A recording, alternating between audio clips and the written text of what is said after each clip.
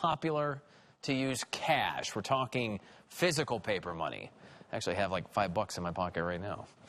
Um, a growing number of us, we use our credit cards, we use digital forms, uh, our cell phones, and so on and so forth. Now, you might be surprised to hear how Florida ranks among all the states when it comes to how we purchase our goods. We have Joshua Cole in studio with us this morning on those numbers now. Hey, Joshua. Good morning. Yeah, I got a couple bucks myself that I keep on hand, mostly for emergencies. Uh, but there's a lot of you, including myself, opting for a card or especially a phone instead.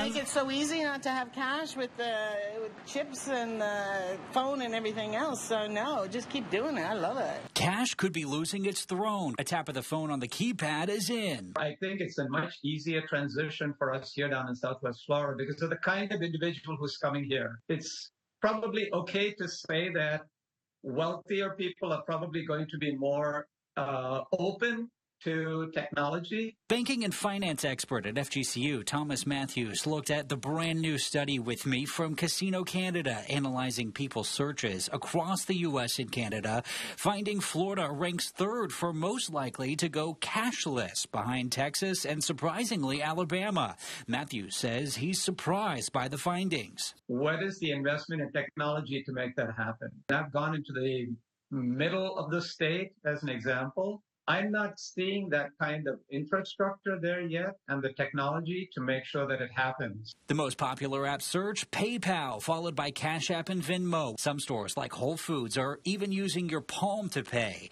Still, shops like Island Visions in downtown Fort Myers say though they know a shift is coming, they're holding on. Maybe we do both here. No, six of one, half dozen of the other. Yeah, but I hate to walk into a little place like the ice cream store and say, here's my card, if it's only going to be a couple dollars. That's why I usually like to have a few dollars in my bag. And for others, it's about trust. We'll never do that. No? Why, why not? I just don't trust it. I would say research as much as possible what are the security mechanisms surrounding that.